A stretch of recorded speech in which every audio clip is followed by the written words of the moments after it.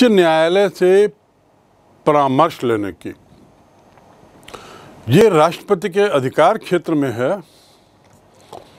और उच्चतम न्यायालय इस बात के लिए बाध्य है कि सार्वजनिक महत्व के कानून से संबंधित यदि राष्ट्रपति उच्चतम न्यायालय से किसी तरह की परामर्श लेता है तो उसे दी जावे। अर्थात राष्ट्रपति को सार्वजनिक हित संबंधी कानूनों पर परामर्श लेने का अधिकार है। किससे थे? उच्चतम न्यायालय से।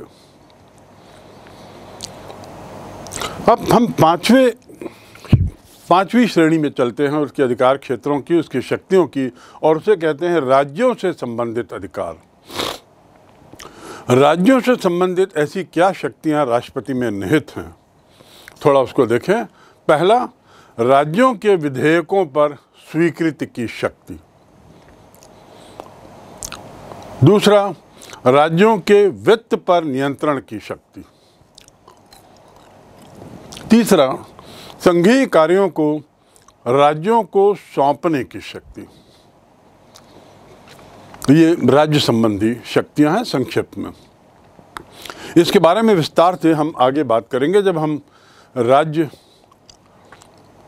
राज्यपाल और मुख्यमंत्री के बारे में अध्ययन करेंगे। अगली शक्तियों की श्रेणी में है संकटकालीन शक्तियाँ। प्रारंभ में राष्ट्रपति की शक्तियों को मैंने दो भागों में विभाजित किया था। एक तो सामान्य स्थिति में जो से शक्तियाँ हैं वह, जिसका अध्ययन हम कर चुके अब अब हम आते हैं दूसरी में, और वह है संकटकालीन स्थिति में शक्तियाँ और कार्य अर्थात एमरजेंसी पावर्स एंड फ़ंक्शन भारतीय संविधान द्वारा राष्ट्रपति को प्राप्त सभी शक्तियों में सबसे महत्वपूर्ण और इंपॉर्टेंट है संकटकालीन शक्तियाँ। सबसे ज़्यादा महत्वपूर्ण संकटकालीन शक्ति है। संकट काल की आ, शक्ति के आधार पर देश के संविधान को एकात्मक स्वरूप प्रदान हो जाता है। राष्ट्रपति के संकट काल की घोषणा संसद के द्वारा तीस दिनों के अंदर स्वीकृत होना आवश्यक है।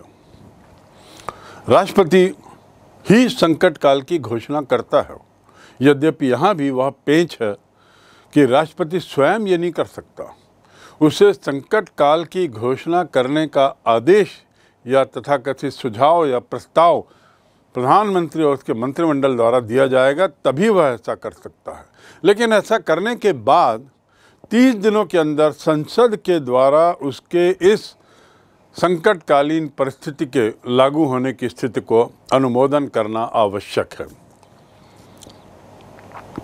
ये घोषणा सामान्यतः छः माह तक लागू रहती है। संकट काल की घोषणा होने पर पूरे देश का जो शासन है, वो राष्ट्रपति के हाथ में आ जाता है। संकट काल की स्थिति में। इसके मायने क्या हैं, ये हम विधायिका पढ़ते समय और समझेंगे कि संकट काल की स्थिति में देश का संपूर्ण शासन राष्ट्रपति के हाथ में आ जाता है, इसके मायने क्या हैं। ऐसी स्थिति में प्रधानमंत्री और उसका मंत्रिमंडल कहाँ रहता है, क्या उसकी स्थितियाँ रहती हैं, इस पर हम चर्चा आगे करेंगे, फ़िलहाल इतना समझ लो। ये संकट काल जो है संकट काल की घोषणा सामान्यतया तीन परिस्थितियों में से किसी एक परिस्थिति के मद्देनजर की जा सकती है। पहला, अनुच्छेद तीन सौ बावन। हमारे संविधान में जो अनुच्छेद तीन सौ बावन है, उसमें ये व्यवस्था की गई है कि युद्ध, बाहरी आक्रमण आंतरिक सशस्त्र विद्रोह की स्थिति या शंका इन तीन स्थितियों में राष्ट्रपति धारा तीन सौ बावन या अनुच्छेद तीन सौ बावन के तहत संकट काल घोषित कर सकता है इमरजेंसी घोषित कर सकता है। वहीं अनुच्छेद तीन सौ छप्पन के अनुसार राज्यों में यदि संवैधानिक तंत्र किसी कारण से फेल हो गया है, असफल हो गया है, विफल हो गया है तो वहाँ राष्ट्रपति संकट काल की घोषणा कर सकता हूँ। पर यह घोषणा किस तहत? तीन सौ छप्पन के तहत। पहली वाली घोषणा किसके तहत? अनुच्छेद तीन सौ बावन के तहत। और तीसरी स्थिति, जिसमें अनुच्छेद 360 के तहत राष्ट्र में वित्तीय संकट के मद्देनज़र राष्ट्रपति संकट काल की घोषणा कर सकता है। तो पहली स्थिति, जब युद्ध आदि की स्थिति हो या विद्रोह की स्थिति हो, दूसरी स्थिति, राज्य में किसी तरह से राजनीतिक प्रशासन, शासन प्रशासन की विफलता हो तो और तीसरी स्थिति, वित्तीय संकट। तीन सौ बावन, तीन सौ छप्पन, तीन सौ साठ। इन तीन अनुच्छेदों के तहत संकट काल की घोषणा करने का अधिकार राष्ट्रपति को है। लेकिन फिर वही बात, ये सारी स्थितियों के लिए आवश्यक है कि इस संबंध में सलाह प्रधानमंत्री और उसके मंत्रिमंडल की ओर से आना चाहिए। सलाह, ऐसी सलाह आने पर ही संकट काल की घोषणा राष्ट्रपति कर सकता है, अन्यथा नहीं। इस प्रकार अब हमने विस्तार से राष्ट्रपति की शक्तियों को समझ लिया। और राष्ट्रपति की शक्तियों को समझते हुए बारंबार ये सुना कि राष्ट्रपति के नाम से ये होता है। ये शक्तियाँ राष्ट्रपति के नाम से उपयोग की जाती हैं। और साथ ही ये बात भी बार बार समझने सुनी कि वास्तविक जो शक्तियाँ हैं, वो एक तरीके से प्रधानमंत्री और उसके मंत्रिमंडल में निहित हैं, क्योंकि उन्हीं की सलाह से राष्ट्रपति इन शक्तियों का उपयोग करता है। तो अब राष्ट्रपति की स्थिति क्या है? अर्थात पोजीशन ऑफ़ द प्रेसिडेंट की यदि हम बात करें तो क्या उत्तर रहेगा? क्या राष्ट्रपति प्रधानमंत्री से ऊपर है? क्या राष्ट्रपति प्रधानमंत्री से नीचे है? या आदि आदि? या क्या स्थिति है? हमेशा ये मुद्दा एक विवाद का विषय रहा है, उसकी स्थिति को लेकर। वास्तविक कार्यपालिका प्रधान की धारणा है। इस धारणा के विचारकों के अनुसार राष्ट्रपति की जो स्थिति है, वो वास्तविक कार्यपालिका के प्रमुख की है। क्योंकि वो मंत्रिमंडल के परामर्श और सहयोग से कार्यपालिका की शक्तियों का प्रयोग स्वतंत्र रूप से करता है। तो ये स्वतंत्र रूप से करने की जो बात है, उससे ऐसा लगता है कि ये वास्तव में कार्यपालिका का प्रधान है। लेकिन हमें ये नहीं भूलना चाहिए कि मंत्रिपरिषद का परामर्श, मंत्रिपरिषद का सहयोग शब्द इन शक्तियों के साथ जुड़ा हुआ है। दूसरी जो धारणा है, उसकी स्थिति को लेकर जो संवैधानिक कार्यपालिका प्रधान की धारणा से जुड़ा हुआ है। पहली धारणा तो वास्तविक कार्यपालिका के प्रधान को लेकर है। दूसरी धारणा जो है, संवैधानिक कार्यपालिका, अर्थात इसके विचारकों के अनुसार राष्ट्रपति की जो स्थिति है वो केवल एक संवैधानिक कार्यपालिका प्रधान की है, उससे आगे नहीं। क्योंकि वह जो भी करता है, वो मंत्रिमंडल के परामर्श के अनुसार ही कार्यों को संपादित करता है। मंत्रिमंडल के परामर्श के बाहर वो नहीं जा सकता। स्वतंत्र रूप से वह स्वयं इनमें से किसी भी कार्य को संपादित नहीं कर सकता। तो ऐसी स्थिति में जैसा पंडित जवाहरलाल नेहरू ने स्पष्ट कहा है, भारत में संसद और मंत्रिमंडल के पास वास्तविक शक्ति है, न कि राष्ट्रपति के पास। वास्तविक शक्ति किसके पास है? संसद और मंत्रिमंडल के पास, राष्ट्रपति के पास नहीं। तो ये स्थिति कमोबेश स्पष्ट हो जाती है राष्ट्रपति बनाम प्रधानमंत्री के लिए। और यदि ये दो धारणाओं की बात करें तो निश्चित रूप से जो दूसरी धारणा है, अर्थात संवैधानिक कार्यपालिका का मात्र प्रधान है वो, ये धारणा सत्य के बहुत निकट है। क्योंकि भारत में संसदीय प्रणाली को अपनाया गया है और संसदीय प्रणाली में राष्ट्रपति जो है एक संवैधानिक प्रधान ही हो सकता है। वह केवल देश का प्रधान हो सकता है, राज्य का प्रधान हो सकता है, सरकार का प्रधान नहीं।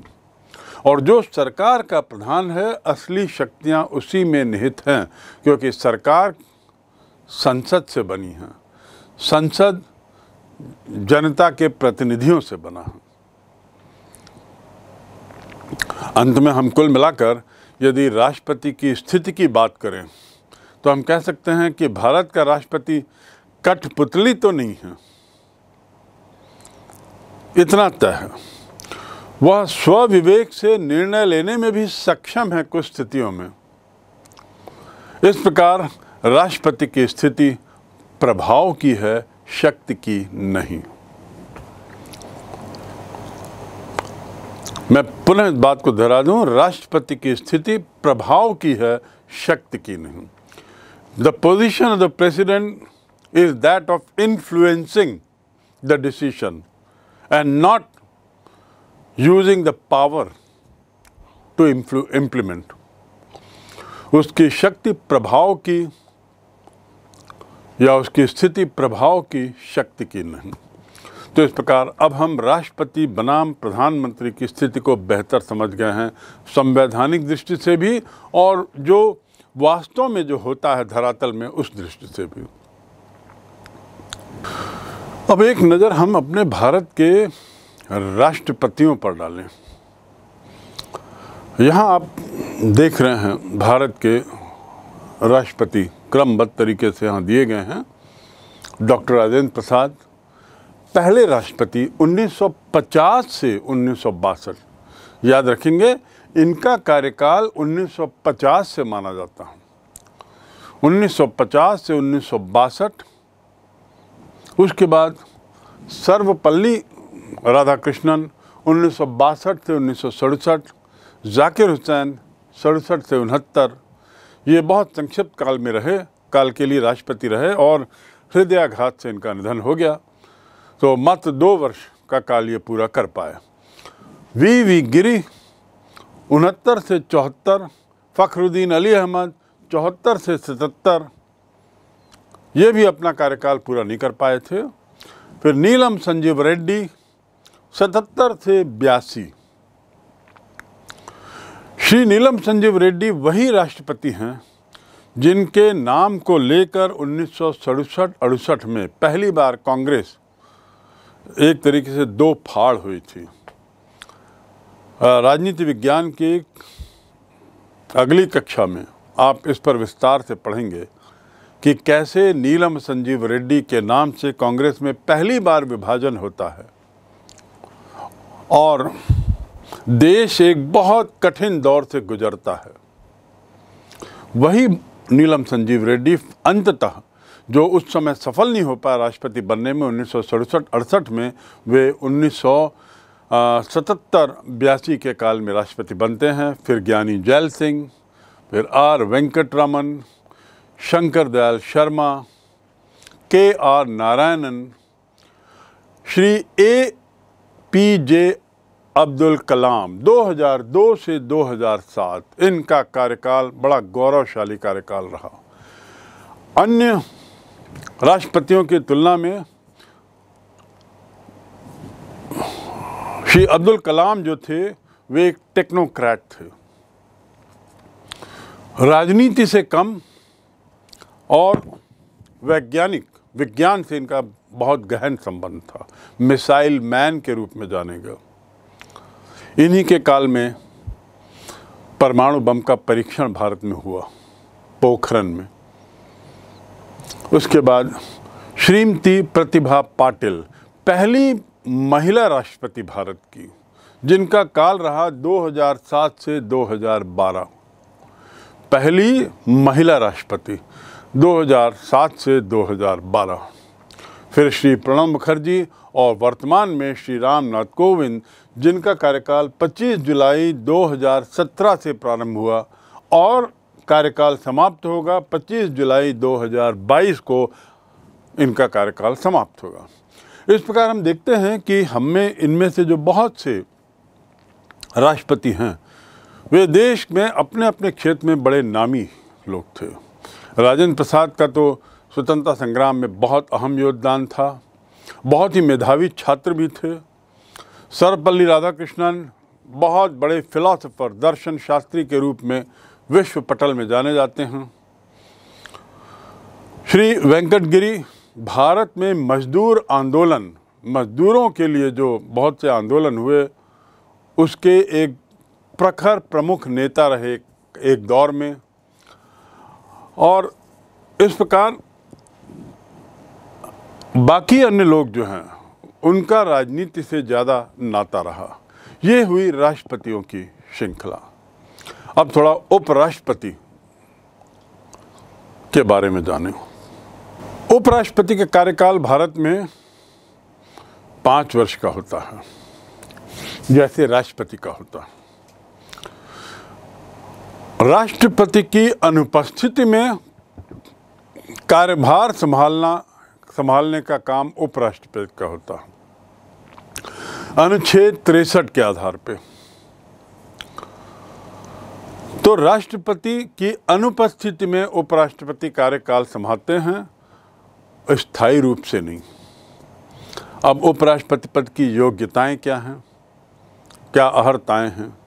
पहला, भारत का नागरिक होना आवश्यक है, सिटीजन ऑफ़ इंडिया। दूसरा, न्यूनतम आयु 35 वर्ष आवश्यक है। और तीसरा, उपराष्ट्रपति के मामले में उसे राज्यसभा के सदस्य, राज्यसभा का सदस्य बनने की योग्यता रखना आवश्यक है।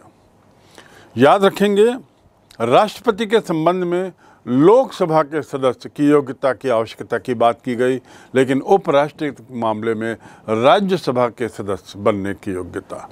उसका कारण क्या है? उसका राज्यसभा से क्या संबंध है? इसे हम आगे, जब उपराष्ट्रपति के कर्तव्यों का अध्ययन करेंगे, तब हम समझेंगे। पर फ़िलहाल आप जानें कि ये उसकी पात्रता है। राष्ट्रपति के लिए जहाँ, राष्ट्रपति की उम्मीदवारी के लिए जहाँ 50 प्रस्तावक और 50 अनुमोदक चाहिए होते हैं, वहीं उपराष्ट्रपति के लिए 20 प्रस्तावक और 20 अनुमोदक न्यूनतम पर्याप्त हैं। और अंतिम इसकी पात्रता के लिए ज़रूरी है कि वह राष्ट्रपति की तरह ही पंद्रह हज़ार रुपये जमानत के रूप में जमा कर दें। जमानत के लिए पंद्रह हज़ार रुपये तो ये हो गए उपराष्ट्रपति पद की अहर्ताएँ। अब इनका निर्वाचन कैसे होता है? उपराष्ट्रपति पद का निर्वाचन उतना कॉम्प्लेक्स नहीं है जितना कि राष्ट्रपति का निर्वाचन। उपराष्ट्रपति का निर्वाचन उतना देशव्यापी भी नहीं है जितना कि राष्ट्रपति का निर्वाचन। तो उपराष्ट्रपति का निर्वाचन और मतदान कैसे होता है? दोनों सदनों के सदस्य, अर्थात लोकसभा और राज्यसभा। बस। इन दो सदनों के सदस्यों द्वारा आनुपातिक प्रतिनिधित्व प्रणाली के अनुसार एकल संक्रमणी मत से होता है। अर्थात जैसा राष्ट्रपति के लिए चुनाव प्रक्रिया है, प्रक्रिया वही उपराष्ट्रपति के लिए भी है। अर्थात आनुपातिक प्रतिनिधित्व प्रणाली। दूसरा, एकल संक्रमणी मत। तीसरा गुप्त मतदान। मतदान कैसे होता है? गुप्त होता किनके द्वारा? संसद के दोनों सदनों के सदस्यों द्वारा। और ये दोनों सदनों के सदस्य अलग अलग मतदान करते हैं अपने अपने सदन में। और इस मतदान में जिसे बहुमत मिलता है, उसे उपराष्ट्रपति घोषित किया जाता है। ज़रूरी नहीं है कि उपराष्ट्रपति सदन का सदस्य हो। वैसे ही जैसे ज़रूरी नहीं कि राष्ट्रपति सदन का सदस्य हो। तो मतदान में बहुमत प्राप्त व्यक्ति को उपराष्ट्रपति घोषित किया जाता है। उपराष्ट्रपति के भत्ते सुविधाएँ क्या हैं? उपराष्ट्रपति को राज्यसभा के चेयरमैन के रूप में तनख्वाह मिलती है, वेतन मिलता है। एक शब्द आप याद रखें, पदेन सभापति। पदेन सभापति अर्थात उपराष्ट्रपति जो भी व्यक्ति चुना जाएगा, जैसे ही वह व्यक्ति उपराष्ट्रपति चुना गया, वह अपने आप राज्यसभा का सभापति मान लिया जाएगा। अपने आप, राष्ट्रपति, उपराष्ट्रपति को राज्यसभा के सभापति के लिए उसके चयन या कुछ प्रक्रिया करने की ज़रूरत नहीं है। बड़ा स्पष्ट है, जो भी व्यक्ति उपराष्ट्रपति होगा, वह राज्यसभा का ऑटोमेटिकली सभापति होगा। ये ऑटोमेटिकली सभापति होगा के मायने हैं पदेन। अपने पद के बल पर वह सभा का राज्यसभा का सभापति रहेगा। अपने पद के बल पर कौन सा पद? उपराष्ट्रपति पद का बल। तो उपराष्ट्रपति को जो वेतन मिलता है, वो राज्यसभा के पदेन सभापति के रूप में मिलता है। संसद के नियम के अनुसार जो उसकी मासिक तनख्वाह है, वेतक भत्ते हैं, अन्य सुविधाएँ हैं, वो दी जाती हैं और उसे निःशुल्क आवास वैसे ही मिलता है, जैसे कि राष्ट्रपति को। जैसे राष्ट्रपति को पेंशन है, ऐसे ही उपराष्ट्रपति को भी पेंशन है। ये तो हो गया उसके वेतन भत्ते संबंधी जानकारी। कार्यकाल, जैसा मैंने बताया, पाँच वर्ष। और यदि चाहें तो त्याग पत्र देकर वह पहले ही पद मुक्त हो सकता है। लेकिन उसके लिए ज़रूरी है कि चौदह दिन पूर्व सूचना राज्यसभा द्वारा पारित तथा लोकसभा के द्वारा उसको दिया जाए। और यदि उसे हटाया जाना है तो चौदह दिन पूर्व की सूचना राज्यसभा द्वारा पारित करे और लोकसभा उसे स्वीकृत करे, तब उसे हटाया भी जा सकता है। अर्थात इसके हटाने की प्रक्रिया में राज्यसभा के सभापति के हटाने की प्रक्रिया में लोकसभा भी जुड़ा हुआ है। अब हम आते हैं, इसकी क्या शक्तियाँ हैं? उपराष्ट्रपति की क्या शक्तियाँ हैं? जब राष्ट्रपति की ही खुद की शक्तियाँ बहुत कम हैं अपने बल पर तो उपराष्ट्रपति की शक्तियाँ और ही कम होंगी। भारत का उपराष्ट्रपति, पहली बात तो राज्यसभा का पदेन सभापति, और यही उसका मुख्य कार्य है। उसका मुख्य कार्य क्या है? राज्यसभा के पदेन सभापति होने के नाते राज्यसभा का संचालन। राज्यसभा का जब भी सत्र होता है सामान्यतः तीन सत्र एक वर्ष में होते हैं तो उसकी, उस सदन के संचालन का जिम्मे, का भार राष्ट्र, उपराष्ट्रपति पर होता है। और इसलिए सदन के सभापति की समस्त शक्तियाँ उसे मिली हैं। किसी भी विधेयक के पक्ष विपक्ष में यदि समान मतदान हो जाए एक बिल या विधेयक राज्यसभा में गया है और टाई हो गया है। पक्ष और विपक्ष में दोनों में समान मतों की संख्या है।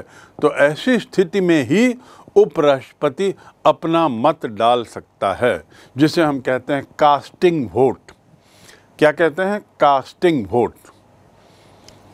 किसी विधेयक के पक्ष विपक्ष में समान मतदान होने पर निर्णायक मत देने की शक्ति को इसे दी गई है। निर्णायक मत, कास्टिंग वोट। अन्यथा सामान्य स्थितियों में उपराष्ट्रपति, सभापति होने के नाते अपने मत के अधिकार का उपयोग नहीं करता। इसके बाद उसके अन्य कार्य क्या हैं? राष्ट्रपति की अनुपस्थिति में, चाहे वो अस्वस्थता के कारण हो, चाहे विदेश यात्रा के कारण हो असमय मृत्यु के कारण हो पदच्युति के कारण हो, या किसी भी अन्य कारण से यदि राष्ट्रपति का पद रिक्त है कुछ समय के लिए तो उपराष्ट्रपति कार्यवाहक या स्थानापन्न रूप में कार्य करता है। कार्यवाहक राष्ट्रपति के रूप में, स्थानापन्न राष्ट्रपति के रूप में टेम्पररीली अस्थायी रूप से काम करता है। कब तक? जब तक कि नए राष्ट्रपति का चुनाव ना हो जाए, या जब तक राष्ट्रपति वापस ना आ जाए। अस्वस्थता के बाद, अनुपस्थिति के बाद या किसी अन्य परिस्थिति के बाद यदि राष्ट्रपति वापस आते हैं, तब तक वह था। अन्यथा, यदि राष्ट्रपति हटाए गए हैं पद से, राष्ट्रपति का स्वर्गवास हो गया है, या राष्ट्रपति ने इस्तीफा दे दिया है तो ऐसी स्थिति में नए राष्ट्रपति के आने तक वह कार्यवाहक राष्ट्रपति का काम करते हैं। और नए राष्ट्रपति को कितने दिन में आ जाना चाहिए, कितने दिन के अंदर नए राष्ट्रपति का चयन हो जाना चाहिए? छः माह के अंदर। अर्थात अधिकतम छः माह के लिए उपराष्ट्रपति कार्यवाहक राष्ट्रपति का कार्य कर सकता है। उपराष्ट्रपतियों की श्रृंखला में आप नाम देखेंगे तो पहली नज़र में आपको लगेगा कि ये सभी लोग पहले उपराष्ट्रपति थे और फिर बाद में राष्ट्रपति बने। और सच्चाई भी यही है कि अधिकतर उपराष्ट्रपति बाद में राष्ट्रपति बनाए गए।